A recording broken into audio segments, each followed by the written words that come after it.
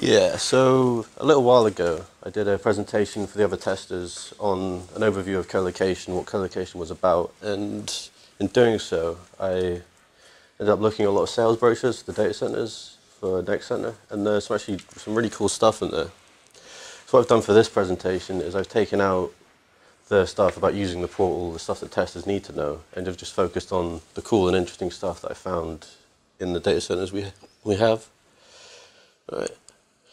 So Nexcenter is the branding for the NTT data centers. We've got over 140 worldwide and over 350,000 meters squared of server space.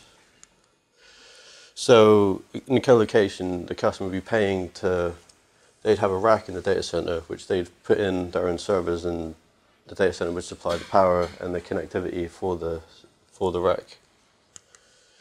You can also buy, so there's the service level is you can have a rack, you can also have a cage in the, in the data center dedicated to that customer, or you can have a suite, which is like an entire room just for that customer in the data center.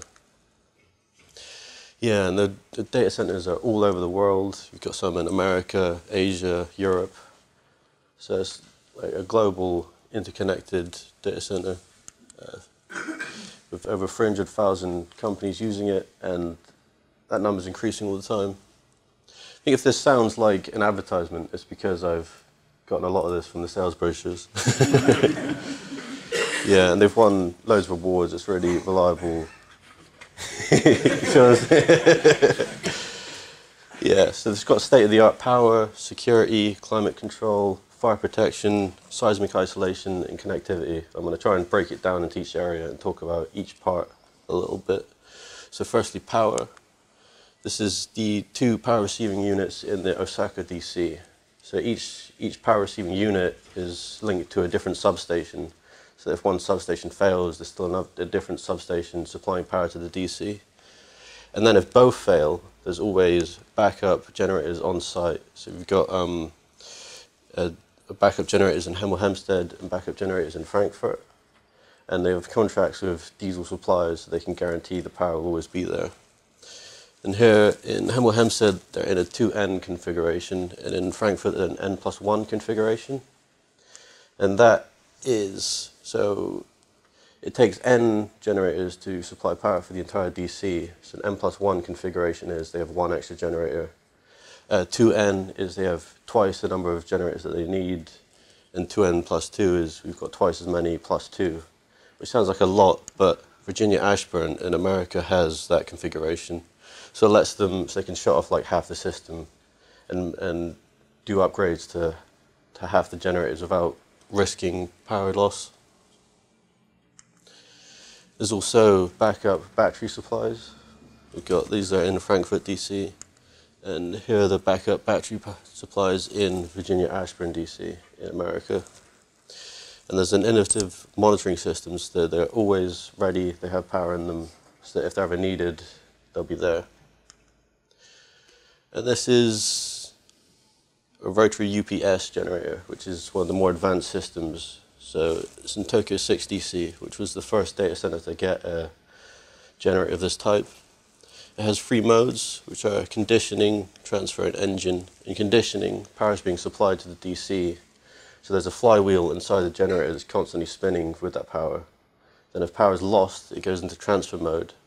The flywheel then gives power back into the data center and gives time, 10 seconds of time for the engine to start up. So the generator is now ready to take over and supply power to the data center. This also have state-of-the-art security. So I've kind of mapped out a path that you might take in going into your into the data center and into the into the rack. So here we start outside. We're in Jakarta, DC, and there's a card checking station where you'd have to check with the guard. You'll check your card, and there's a bollard to prevent people just driving in. and once you get inside, it's like an airport. There'll be a baggage scanner, an X-ray scanner, and you'd have to go for a metal detector. Then there's something called a man trap, which is in Virginia Ashburn, DC. So outside is the public area, and on the other side is the private data center area. And you have to pass through the man trap in order to get there. So if an intruder tries to enter the data center, they'll get caught into the man trap. once they enter this, they won't be able to exit until the security arrives and takes them away. Here's the reception area. So once you're in the data center, you'd have to speak to reception. You're only allowed to visit if you've booked in advance and that booking's been approved. And you'd get a card to an internal card for the data center at this point to let you access any rooms in the data center. Then you'd have to go through the, the security gates to check these cards. On here we have uh, biometric scanners, which check finger vein authentication, so you know who you're dealing with, as long as the card reader as well. Then we'll go to the elevator, and there's an implantation limit. So you can only go where you've booked to go, where it's been approved. So scan your card. If you try to go to a floor you're not allowed to, it won't allow that. And then we'll get to outside the security uh, to the server room. This is something called a tailgating prevention device. So it allows one person in at a time. So each person has to go through the biometric authentication at a time. So you can't just have someone following another person in when they shouldn't be there. Uh, this is a finger vein, uh, another fingerprint scanner, but there's also more sophisticated ones like the an iris scanner. This one's in Hemel Hempstead, DC. It's pretty cool. And then even then, once you're in the server room, this is a dedicated cage for a customer. So that's an extra layer of security around there, and only that customer can enter the cage.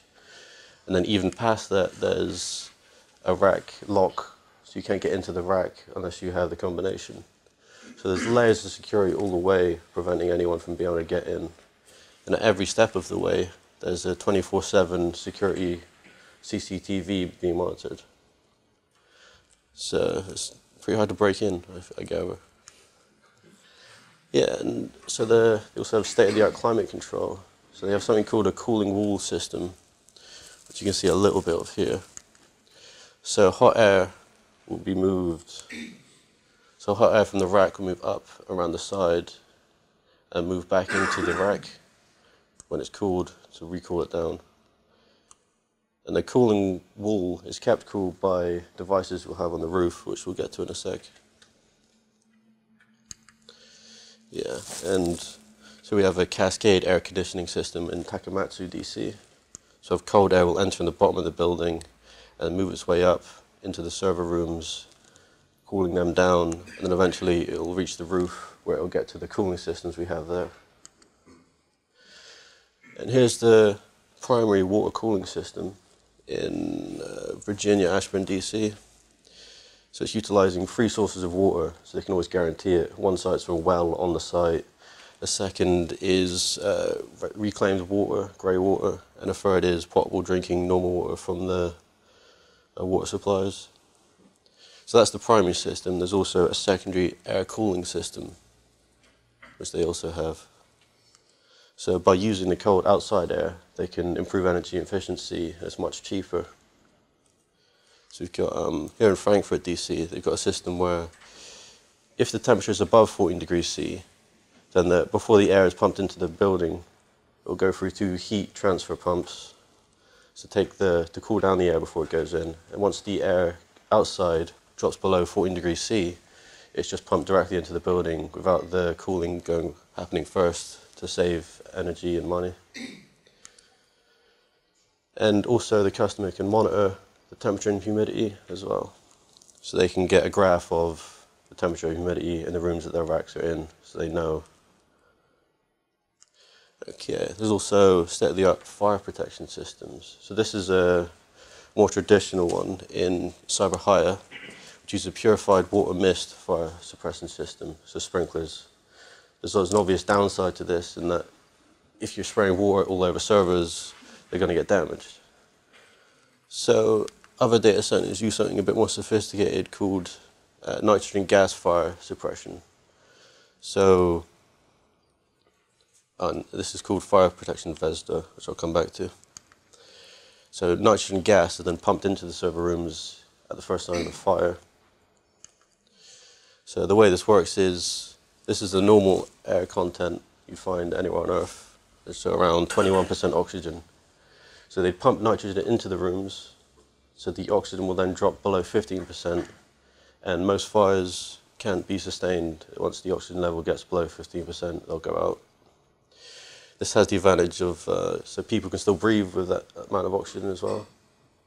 So in the past, uh, they had like carbon dioxide systems were used, but that's harmful to humans, and there were some casualties. I think uh, halogen systems were used in the past, even before that as well, but that damaged the ozone layer, so those were stopped. Okay, so I mentioned fire protection VESDA, which is a very early smoke detection apparatus. So it sucks in air at the top using like vacuum pumps, and this goes through a laser, which then detects any uh, detects any smoke very quickly.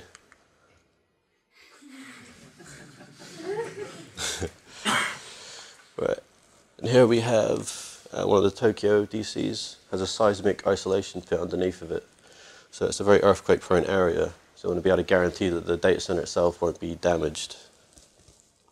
So they use multiple types of seismic isolation devices. So the, the data center is floating above the ground almost, and any movement is it's allowed to move, but it, the, the acceleration is like slowed down and reduced. So we've got a sliding elastic support board, an oil damper, a linear sliding board, and a laminated rubber shoe with a lead plug. These have like layers of uh, steel and rubber discs going up. And I've got a little video of this being tested. So they're getting the the lead shoe and they're applying the weight of a data center above it, simulating that, and then showing what happens when the ground moves underneath of it.